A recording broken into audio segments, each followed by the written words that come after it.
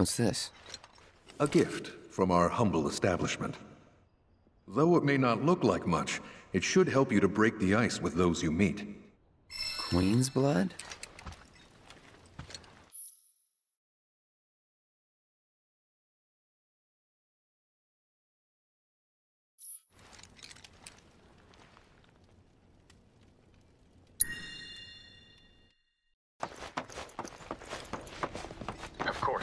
This is only the most recent in a I need to keep this place. multiple reactor bombings, followed by Good morning, sir. 7 plate, culminating in this unprecedented I must apologize for not introducing myself to you earlier. I'm Broden, the owner of this inn. Your companions have all stepped out. Oh, but Barret left a message he wanted me to pass along to you. You missed roll call, soldier boy. Luckily, you're on leave for the day. Don't waste it, though. Get your equipment checked ASAP. Sound advice? Perhaps a trip to the arms dealer is in order? Good idea. By the way, Cloud, do you have any folios on you? Yeah. In that case, you might also want to pay a visit to Magnata Books. They have stores all over, but the first official one was built here in Kalm. And their resident scholars are remarkably talented. If you want to unlock the true potential of your folios, you should go see them. The first customization is always free.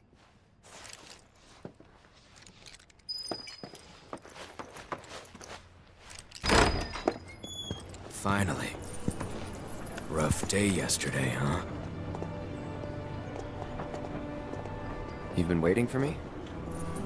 I've been waiting for a chance to thank you properly. Without your help, I'd still be in Hojo's clutches, trapped in that lab. Was nothing. Even so, I owe you a debt until it's paid. I'm going to accompany you.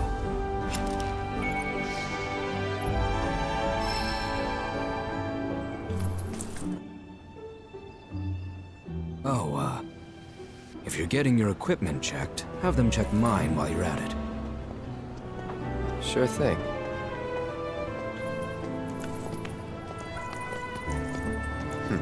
The rook's got a backbone. So the game is letting us loose in Kalm, and the city or the town is much bigger than it was in the original game, and we're going to spend a little time wandering around here. But there is also something that I wish they had done in the original game that they're doing here, and you're going to see what it is. Look who it is. You up already? Drinking already? Ha, no, sir. Not gonna have a drop till Seventh Heaven's back up and running.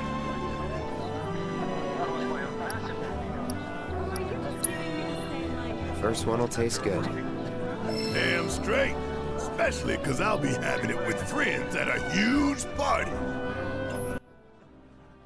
Something this game is doing here that they didn't really do in the first one is take the characters that you play as, all of the party members, and just disperse them around the town. So you saw this happen on occasion, like uh, Costa del Sol, where like Tifa and Yuffie and Aerith and all those are just out in the town somewhere and you can go and talk to them. But most of the towns you found your way into, it didn't happen. And I think it's a good idea because it gives you, especially in the earlier early games like the ones in the 90s and stuff, there weren't enough, there weren't as many um, chances for character interaction as you'd think there would be in a game like this because like you have your characters and they have their scenes and it's it's enough really to get across who the characters are but you don't really get too many opportunities to have characters interact with each other and for the most part more is better and it's all optional. So if you didn't want to talk to Barret you didn't have to. This also seems to play into the relationship mechanic. So uh, the original game had a dating mechanic which by the time you reached gold saucer the second time around going through Gold Saucer, there was a date that Cloud would go on with either um, Aerith, Tifa, Barret, or Yuffie. And it would depend on dialogue choices and stuff like that, depending on what you chose to be to who had the highest level of affection with the different characters. And by default, most people were probably going to have the date with Aerith, and then Tifa was the second most likely, then Yuffie, less likely than that. And then, like most, no, most people would never see date with Barret. This seems to be putting that like a little bit more obvious how to manipulate the scoring because it was it was all behind the scenes in the original game, just math that happened. Counters going up, like oh, you say something nice to Tifa or her relationship mechanic goes up by one, something like that. In this, you're not seeing any numbers, but you are seeing this little like um, emoji appearing next to their name to see how it is affecting them and plus your dialogue choices, it shows you a little like words like, "Oh yeah, this affected the relationship." So it, we can tell what's going on from here, and like there's no ambiguity. There's less ambiguity of how it works. Now this card game, Queen's Gambit, uh, Final Fantasy VIII introduced the card game mechanic. Tetramaster was it, or Triple Triad? It was called Triple Triad. Tetramaster was the nine Final Fantasy nine card game, which I didn't much care for. But Triple Triad I actually liked. This, the uh, the way it describes the rules in the game are a little bit hard to understand. It's better to just actually play a couple of games to get an idea of how it works, because it's not really that complicated. You have all of these different cards, and they all have these little glowing dots around the center point, and you drop your card down, and it places these little chess pieces up there, and like okay so you have one two or three chess pieces and you can only place one of your other cards down on those like if it's one chess piece you can put one down on one if it's two you can put it down on two and two three if you haven't put it down on three and each card also has a number so when you place that card down it adds that to your score so you have the three different lines the opponent is winning by 10 on the first line. I'm winning by 6 on the second line, and I'm winning by um, 3 on the third line. So, um, so, so we're actually, we're like, we're tied right now. Even though they have more points than me, we're actually tied. And I'm going to win this round because I still have cards I can place down because those green orbs, those green chess pieces mean that I can place cards down, but the opponent can't. There's no open spaces for them. So it, it's a nice little balance of having to think in advance where you're going to put your cards down and then resource managing the cards that you do have. I'm not going to be doing a lot of this game, at least not playing a lot of it on camera, because I'm trying to do a freaking Let's Play series for it. But it's not a bad card game. It'd be nice to... I wonder if this is, like, there's an actual game to this in real life. Impossible. How could someone break through my perfect defense? Who are you? Deep down, I always knew. I knew I couldn't stay holed up in here forever. Walls can keep people safe. But even the sturdiest ones eventually crumble. Right. Starting today, you will be my new wall, as it were. And I am going to enjoy watching you crumble. And there are a few people around town that you can challenge this card game, and they're all a little bit crazy. that lady put like a bunch of cardboard boxes around her, and it's like, this is my Bailey. There's Aerith. Aha, finally decided to get up? Yeah. So what you been doing? Why, waiting for you, of course. You have? Got business with the bookstore? If so, I won't keep you. But if you're free afterwards, wanna climb the clock tower together? Sure.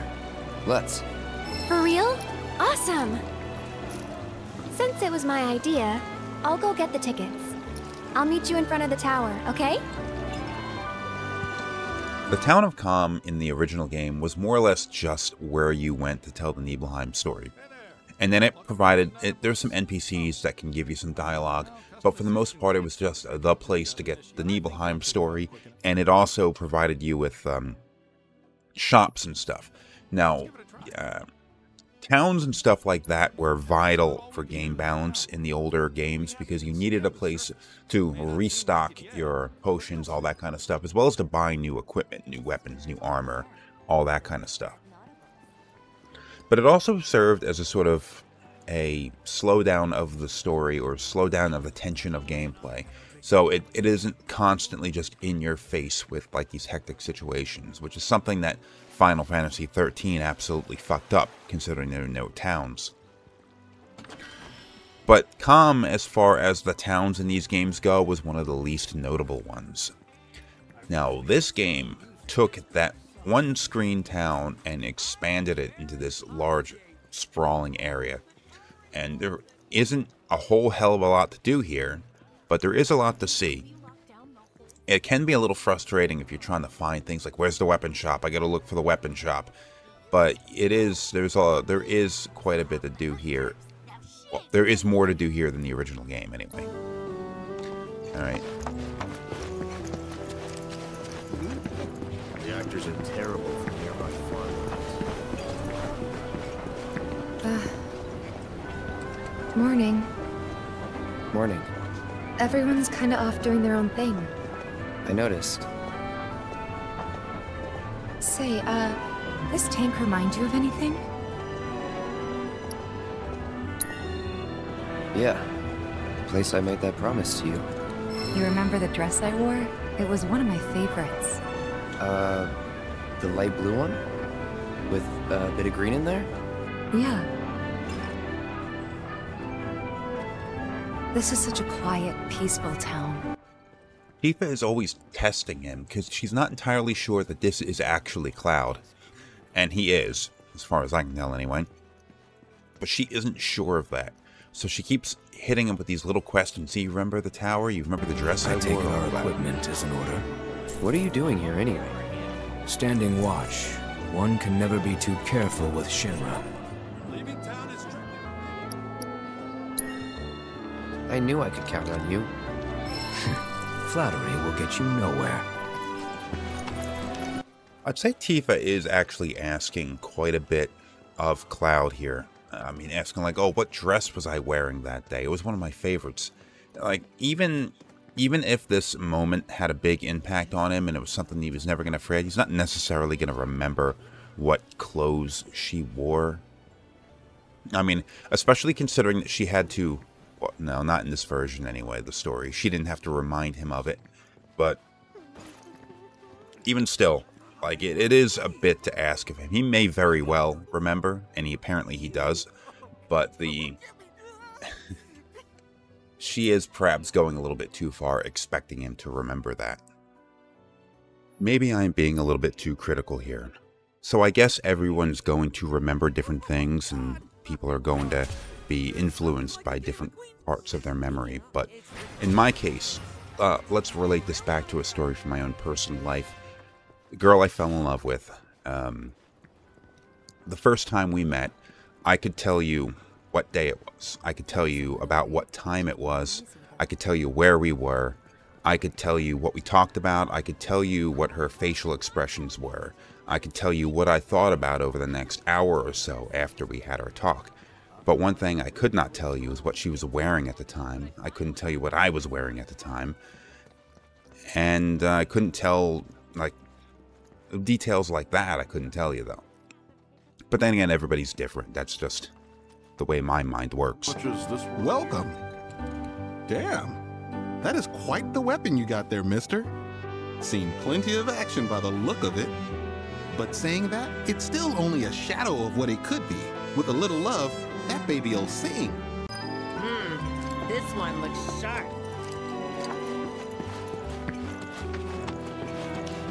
Need something for the kids?